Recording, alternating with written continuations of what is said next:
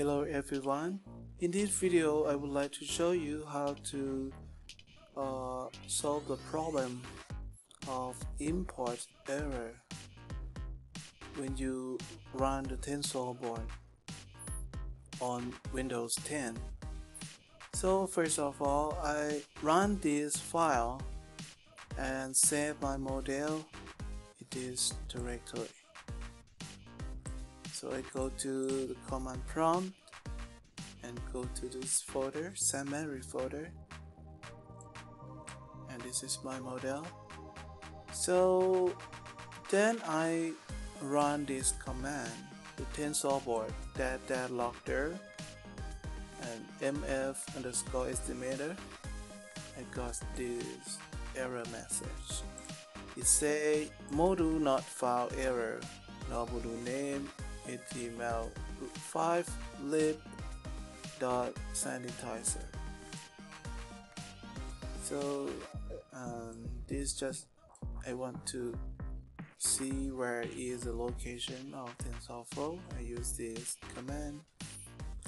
And I'm trying to run but it's, it's have a problem with uh, no module name HTML5lib. So I found a solution on GitHub in this issue. Import error, no module name HTML5 left. The sanitizer is the same uh, my problem.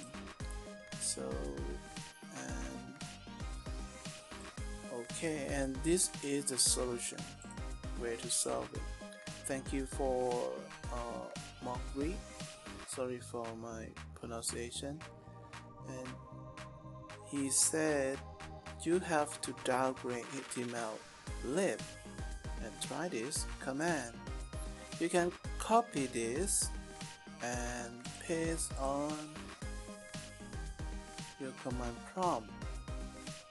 It install that, upgrade rate.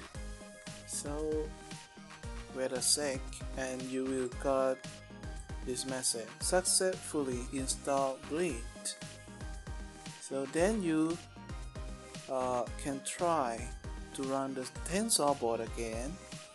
And if you found this URL is a local host you can copy and open in your browser okay bam. Let's get ready to use it. You can click to see graphs. Everything you want. Okay and this is the solution. Thank you for watching